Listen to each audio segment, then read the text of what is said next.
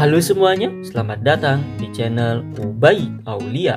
Kali ini saya akan berbagi tips dan trik HP Android. Video yang akan saya bahas adalah cara mengunci aplikasi di HP Infinix. Kita langsung saja ke tutorialnya. Jadi, cara kunci aplikasi di HP Infinix Nah, teman-teman di sini yang akan saya kunci adalah contohnya aplikasi Facebook dan juga aplikasi TikTok. Sekarang saya akan membuka aplikasinya. Di sini aplikasinya langsung dapat terbuka atau tidak terkunci ya. Nah, aplikasi TikTok juga seperti itu. Jadi langsung dapat membuka aplikasinya. Ini menandakan bahwa aplikasi ini tidak terkunci. Dan untuk mengunci aplikasi di HP Infinix-nya, maka teman-teman di sini kita langsung saja buka bagian pengaturan. Nah, selanjutnya di bagian pengaturan ini kita bisa geser saja ke atas Kemudian kita pilih bagian privasi. Nah, di bagian privasi ini, maka tinggal kita pilih saja di bagian perlindungan privasi.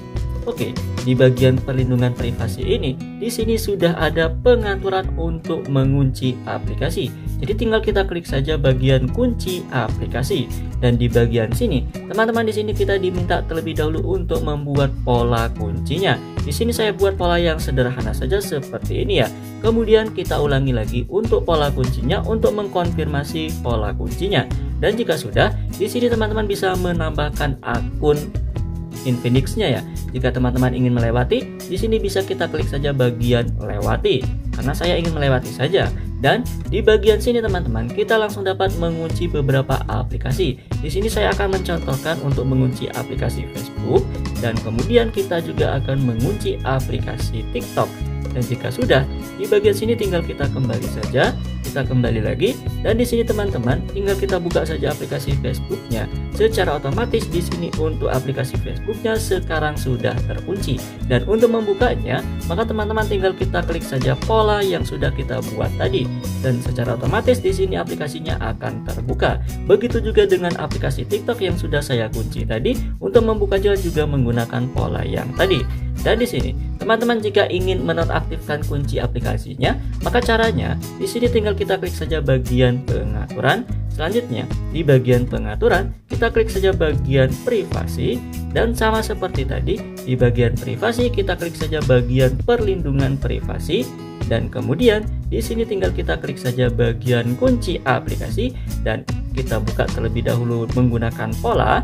Selanjutnya, untuk menonaktifkan kunci aplikasinya, bisa teman-teman klik saja bagian yang seperti ini, gemboknya ini, sampai gemboknya terbuka. Ini menandakan bahwa aplikasinya sudah tidak terkunci lagi. Dan jika teman-teman ingin menonaktifkan fitur dari kunci aplikasinya, maka teman-teman di sini ada pengaturannya. Untuk pengaturannya yaitu di bagian pojok kanan atas yang segi 6 ini kita klik saja. Di bagian sini kita bisa menonaktifkan kunci aplikasinya atau kita bisa mengubah kata sandinya dan beberapa pengaturan yang lainnya.